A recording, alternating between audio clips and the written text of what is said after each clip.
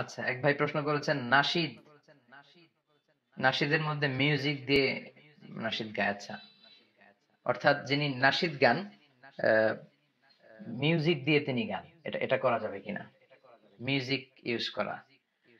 মিউজিকের ব্যাপারে ইখতলাফ আছে।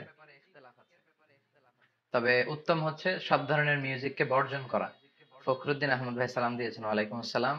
আকরামাকাল্লাহ, হাইয়াকাল্লাহ ইয়াহি তো মিউজিকের ব্যাপারে আল্লাহ রাসূল আলাইহি বলেছেন বরিস্তুলি উকাসসির আল মাজামির বাদ্যযন্ত্র ভাঙার জন্য আমি পৃথিবীতে প্রেরণ হয়েছি, প্রেরিত হয়েছি। আবার ইবনু মাসউদের কল হচ্ছে আল গিনা ইউমবিতুন নিফাক এই সমস্ত গান, বাজনা, এগুলো অন্তরে নেফাকি তৈরি করে। স্রষ্টার স্মরণ থেকে আপনাকে গাফেল করে দেয়। তো এই জন্য স্কলাররা বলেছেন যে, যেই মিউজিকগুলো খুব হাই বিটের হ্যাঁ অনেক গানের মধ্যে দেখবেন যে, ডেকসেট বাজে এমন হাই বিটের মিউজিক দেয় মনে হয় যে, ঘর কাঁপছে। ছেলে পেলেদেরকে ক্রেজি বানিয়ে ফেলে ডান্স দিতে মন চায় তাদের, উগ্র বানিয়ে ফেলে। এগুলো আসলে আল্লাহ স্মরণ থেকে মানুষকে গাফিল করে ফেলে, এগুলো কোনোভাবেই জায়েজ হতে পারে না।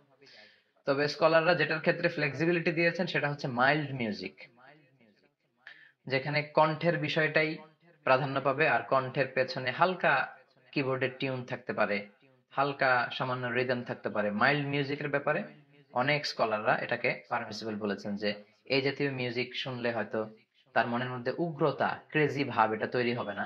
স্রষ্টার স্মরণ থেকে যদি তাকে গাফেল না করে, তাকে যদি ফিজিক্যালি ক্রেজি না বানায় মেন্টালি ক্রেজি না বানায় এবং সেই গান বাজনার মধ্যে যদি অশ্লীল কিছু না থাকে, তাহলে হালকা মিউজিক অনেকে অ্যালাউ করেছেন। তবে to be in the safer side safe জোনে যদি কেউ থাকতে চান, তাকে নাশিদ বর্জন করতে হবে। আমি পার্সোনালি খালি গলায় নাশিদ গাওয়া ইসলামিক গানকে প্রমোট করতে পছন্দ করি। এতে তার গলাটা কেমন সুর, তাল, লয় কেমন, এটা বোঝা যায়। মিউজিক সবকিছুকে উল্টাপাল্টা করে ফেলে। তো কণ্ঠটাকে আর কি তখন বোঝা যায় না। এই জন্য সেফ জোন হচ্ছে সব মিউজিক বর্জন করে খালি গলায় গান করা নাশিদ করা। তবে ইখতলাফপূর্ণ যেটা, সেটা হচ্ছে হাই বিটের মিউজিক কে নিষেধ করা হয়েছে। আর হালকা মিউজিক যদি হয়, সেটা অনেক স্কলাররা পারমিসিবল বলেছেন। আল্লাহ আলাম।